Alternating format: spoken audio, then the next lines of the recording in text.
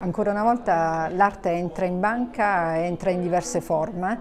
Eh, oggi concludiamo la mostra dei quadri parlanti che è stata una bellissima iniziativa e lo facciamo anche in maniera diversa, non vi svelo nulla.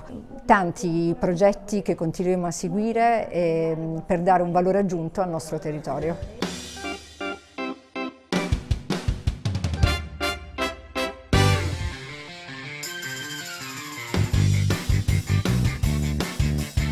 Ringraziamento particolare alla Banca Popolare Puglia Basilicata per aver creduto in questo progetto, una produzione tutta pugliese, anche cinema e mat, eh, nel realizzare un musical in Puglia, non accadeva da 30 anni. È una produzione che nasce a Bari, eh, ha l'intento di girare la Puglia e poi di partire per un tour nazionale.